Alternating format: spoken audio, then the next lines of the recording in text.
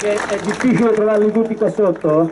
Mauro Scardovelli, Enzo Pennetta lo vedo, siamo anche, siamo anche qui Mohamed Conare, un applauso anche a Mohamed Conare per favore. Adesso do la parola a Giulietto Chiesa, un applauso anche per lui. No, qui davanti.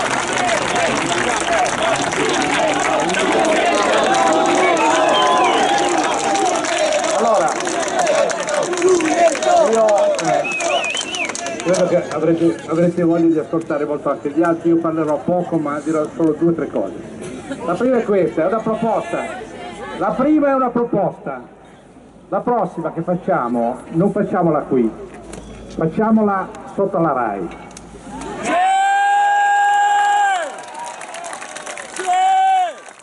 Perché noi qui siamo un fatto nuovo sul panorama italiano, no, è una cosa nuova oggi che sta avvenendo, non ne parlerà nessuno, non ne parlerà, no- noi non andremo in onda sui sette canali della televisione italiana.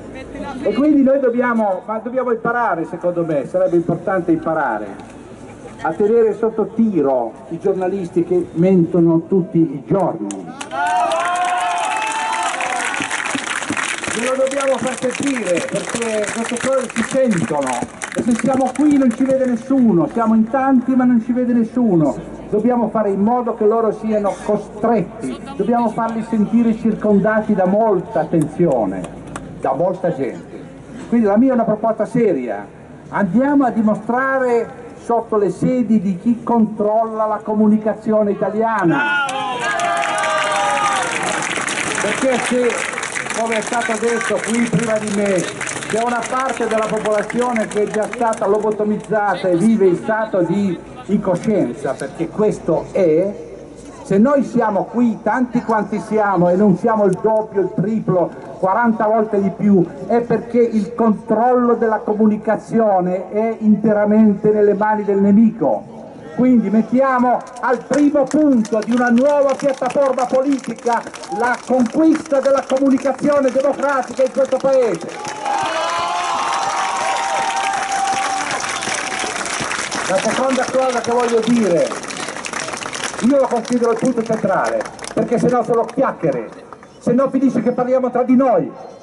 Dobbiamo capirlo che loro parlano ogni giorno a 30 milioni di persone, se no capiremo questo saremo sconfitti, domani e dopodomani anche. Questo per me è il primo punto di una piattaforma politica per cambiare questo paese. Il secondo tema che voglio toccare è la guerra. Questa manifestazione l'abbiamo convocata quando ancora non c'era la guerra.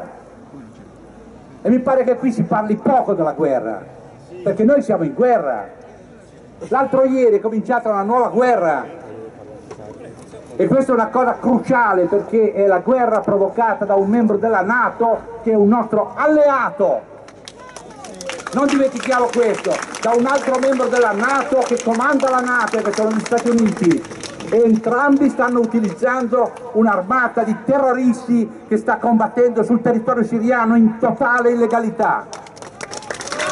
Se noi, se noi non capiamo, se noi non capiamo che questo tema della guerra è il tema del domani, noi non potremo parlare ad alta voce e con la fronte alzata al popolo italiano. Ecco la seconda cosa che noi dobbiamo mettere nel nostro programma. Fuori dalla guerra. L'Italia deve uscire dalla guerra. E uscire dalla guerra significa in primo luogo dire che noi vogliamo essere neutrali. È possibile dire questa cosa, è credibile, è importante, perché in tutti questi talk show che avete visto nel corso del governo giallo-verde, per un anno intero ci hanno ammorbato la testa dicendo che non ci sono i soldi. E nessuno, ma nessuno, né di sinistra né di centro né di destra del governo ha ricordato che noi spendiamo 70 milioni di euro al giorno per pagarci una difesa che non servirebbe in caso di guerra neanche per due ore.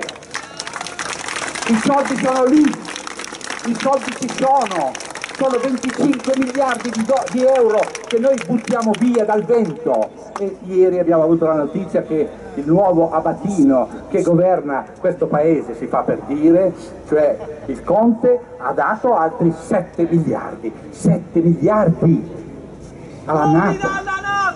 Quindi queste sono le cose che volevo dirvi. Queste sono le cose che volevo dirvi.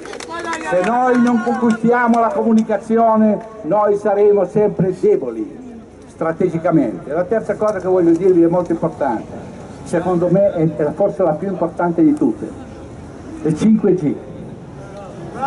Sta per arrivare il 5G sulle vostre teste, sulle vostre cellule, sui vostri cervelli, sulle vostre onde mentali. Questa sarà una minaccia alla vita dei nostri figli e alla nostra. Noi dobbiamo, io lo dico senza termini, noi dobbiamo dire a questo governo che sorgerà un movimento popolare di massa che dirà che questo non si deve fare, comune per comune, città per città, noi dobbiamo sollevare non solo la protesta verbale, ma dobbiamo impedire che siano alzate queste antenne che saranno puntate contro i nostri cervelli. Questa è una questione cruciale, questo non è progresso, questa è distruzione dell'uomo. Questi sono tre punti che io propongo per la piattaforma politica del nostro futuro. Ringraziamo il progetto.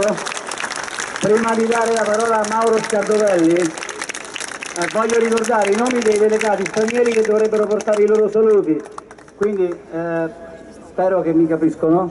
La Giorgia Bitacu, Ramon Franchesa, Manolo Monereo sempre dalla Spagna, Michel Descend dalla Francia, Amanda Hunter dall'Inghilterra, Willy Langtaler dall'Austria e, e, anche Costa sempre dalla Grecia. Uh, please, thank to us here. Allora, uno degli, dei promotori di questa manifestazione, che per noi è stato molto prezioso, si chiama Mauro Scardovelli. Gli diamo la parola. Grazie.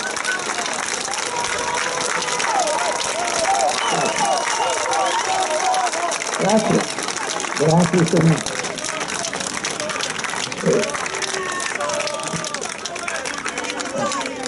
Sono molto contento di essere qua e che siamo tutti insieme e voglio il messaggio fondamentale che vorrei portare per integrare quello che è stato detto fino adesso è che un programma noi ce l'abbiamo già ed è la nostra Costituzione italiana. Allora, comincio con una cosa che sentiamo tutti i giorni nei telegiornali e nei giornali, mancano i soldi, facciamo questo, non si può, mancano i soldi.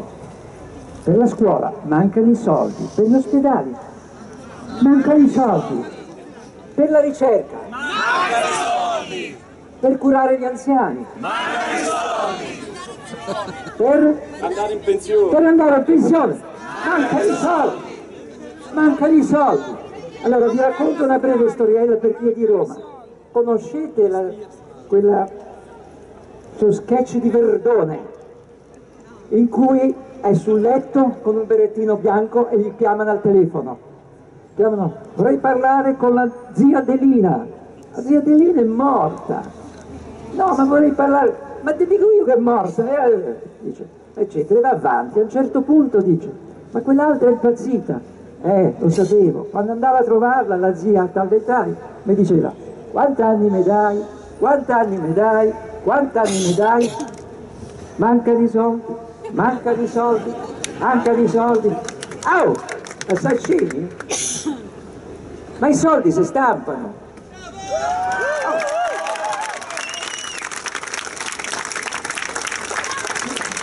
Cioè, è chiaro e se i soldi li dobbiamo prendere a prestito mancano sì perché ci indebitiamo.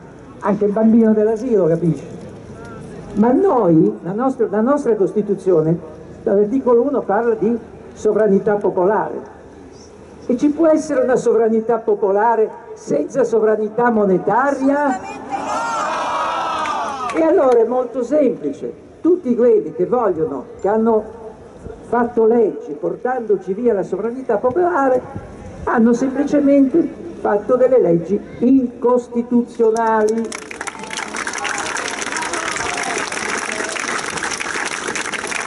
Allora, se sono incostituzionali, per chi conosce un minimo di diritto, cioè ha studiato due o tre ore, lo sa, certo, molti al Parlamento non lo sanno, ma poveracci, eh, poverini, eh, ma lo sa, che sa, sa che un giudice non può applicare una legge incostituzionale, non lo può fare, perché il suo compito è rinviare alla Corte, è molto semplice. Quindi anche i giudici, siccome hanno studiato nelle università di oggi, che sono università neoliberiste,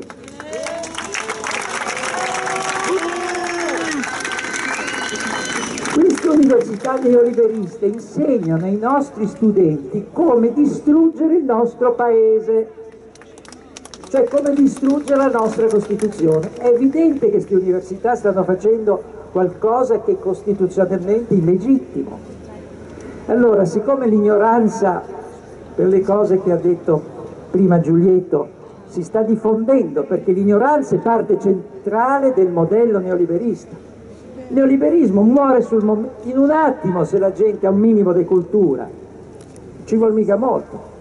Ecco, però, come ha detto Giulietto e come lo dice benissimo, nel momento in cui la nostra mente è lobotomizzata dai mass media che sono in possesso dei neoliberisti, è chiaro che noi pensiamo con la nostra testa in modo neoliberista, quindi ci crediamo in trappola.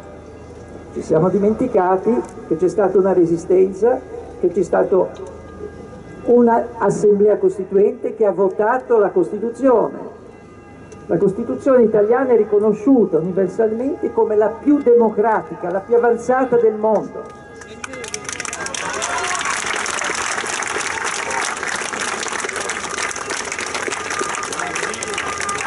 Sulla Costituzione italiana, facciamo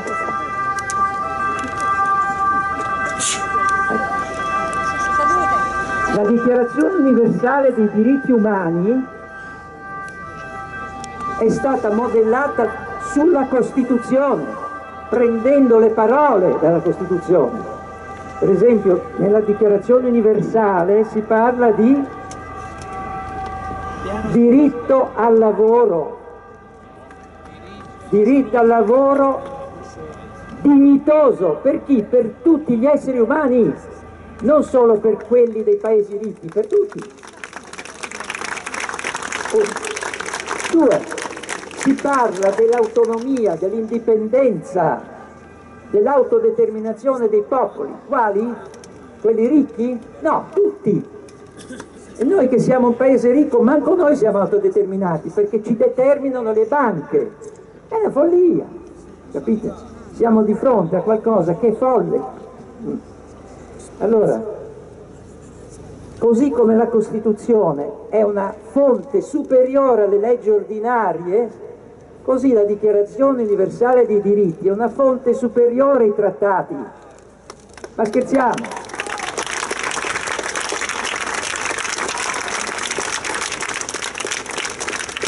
Allora, oggi non sono qui in piazza due giuristi, massima autorità su questo, che sono, ve le conoscete, Paolo Maddalena e Bara Carattolo, l'Italia, che lavorerà.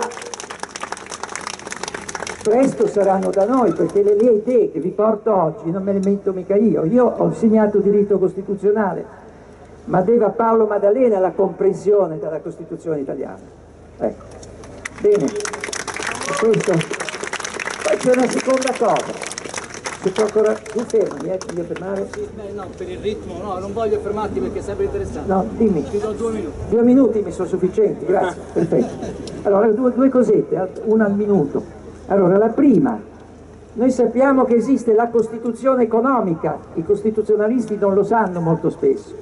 La Costituzione economica prevede semplicemente che la speculazione delle banche è vietata dalla nostra Costituzione, fine.